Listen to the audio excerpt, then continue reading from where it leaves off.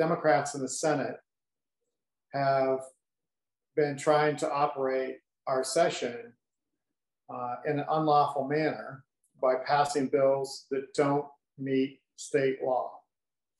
And the bills that they want to pass without uh, the proper process are extreme national liberal agenda type bills. And we're standing against those because we believe that they're even too extreme for Oregon. So not only do we want a lawful process and all Oregonians to be heard, but we also don't want these extreme uh, bills that are, uh, in many cases, not only unlawful, but also unconstitutional. So we have worked together as the House and Senate Republicans to come up with a plan.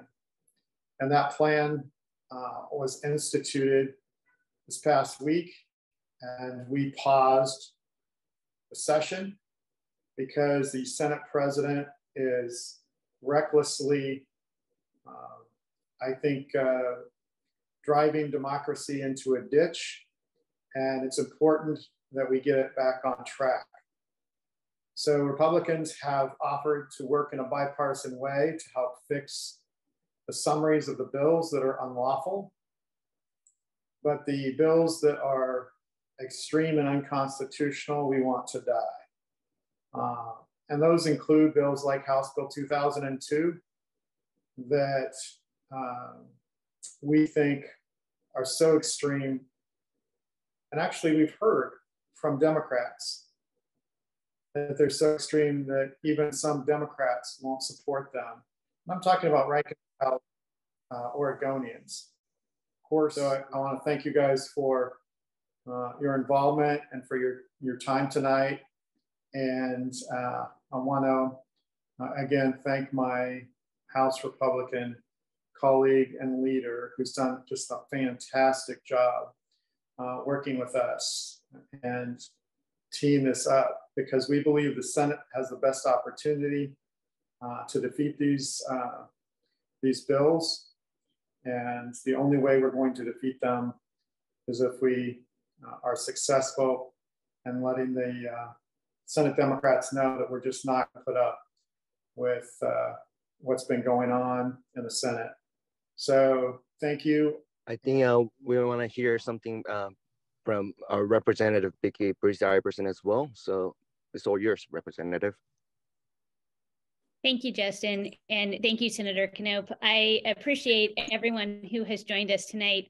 You know, part of what we want to do is, and we've said it from the get go, from the very beginning of elections, we want to do it different. We want to make sure that we've got more of a collective approach and that we're working together across the building and in the i mean to, from the house to the senate to make sure that we're we're coordinated and we're strategic. And we did that election cycle. Now we're now we're doing it in the during the session cycle.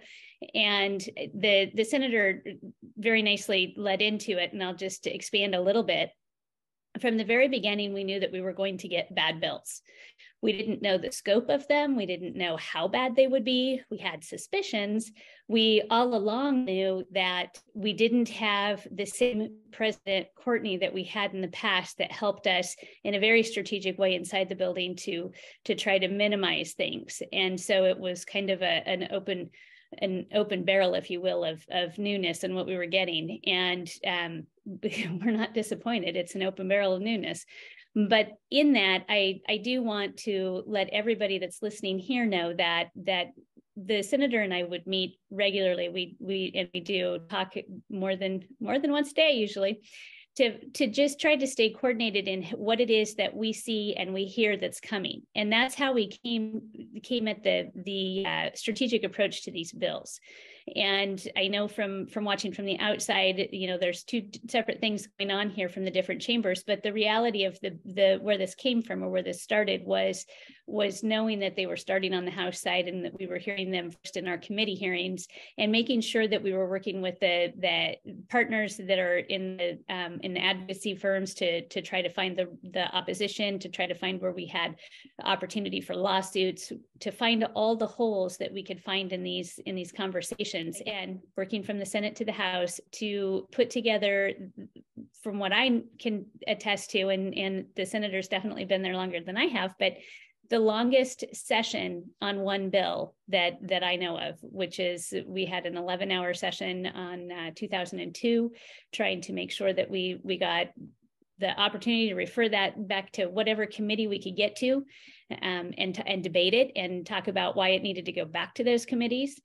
And at the same time raising awareness of what it is that was inside that bill to make sure that every democrat that was on the house floor heard the things heard heard what was in that bill. Because in the process of of running it through only one one public hearing and out the out the door. And then for 2005 i would say that that uh, the the omnibus bill um, there were certain things that we worked to, to make sure were put on record so that the the unconstitutionality of that bill was highlighted.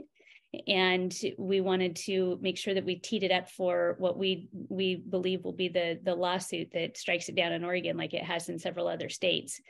And in addition to that my caucus was so was so uh, they had they were so behind what we were doing.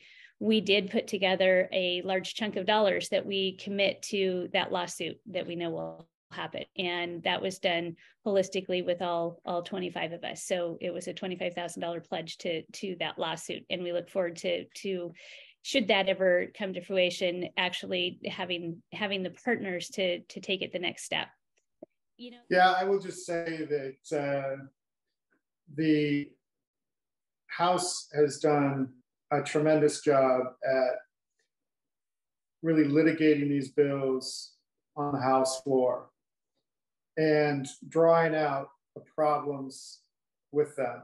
And there are many. What is really going on is this extreme national, progressive, liberal agenda that is trying to separate children from their parents and destroy parental rights in this country. And they're making their biggest play here in Oregon. And we won't stand for it. As a matter of fact, we're standing against it.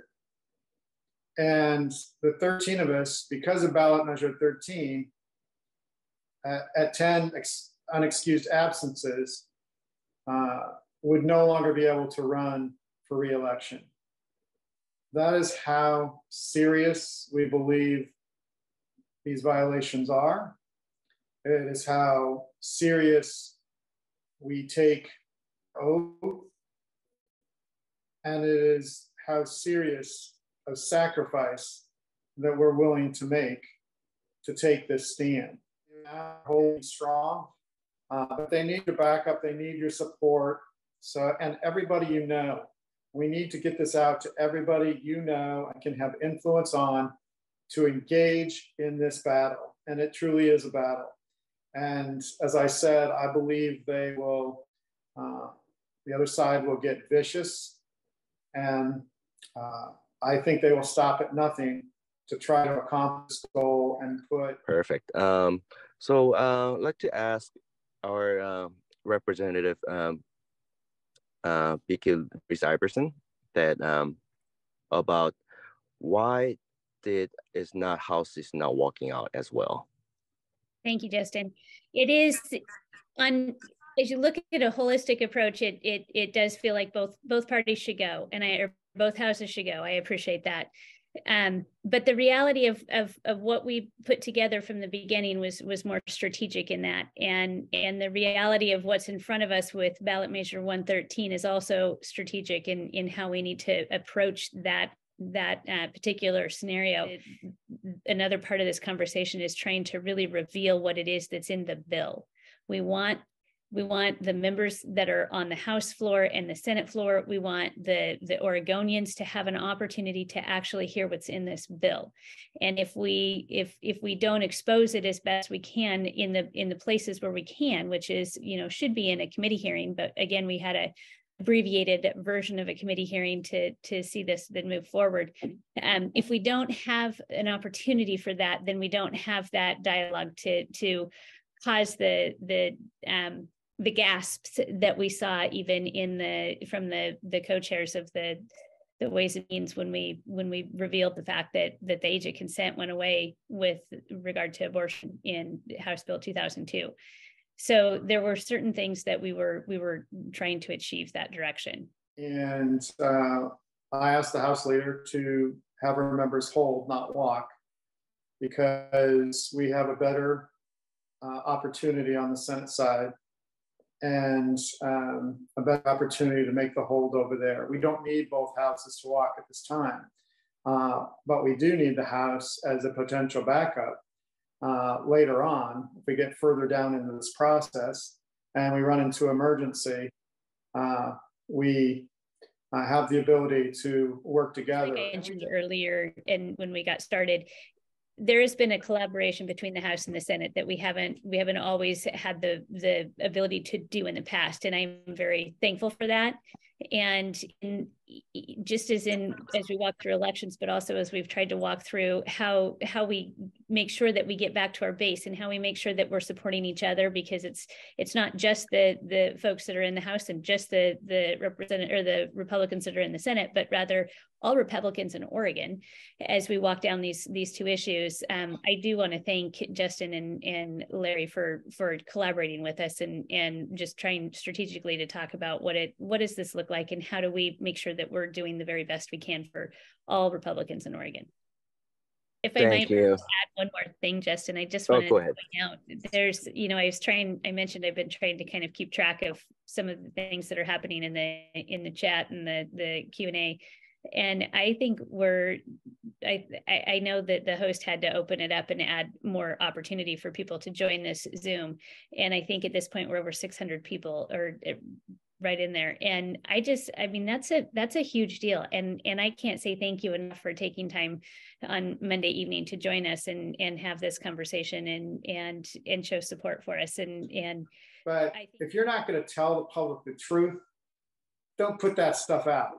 You know, be honest with the public, and that's what we've been pushing is transparency and uh, defending democracy, and we will continue to do that.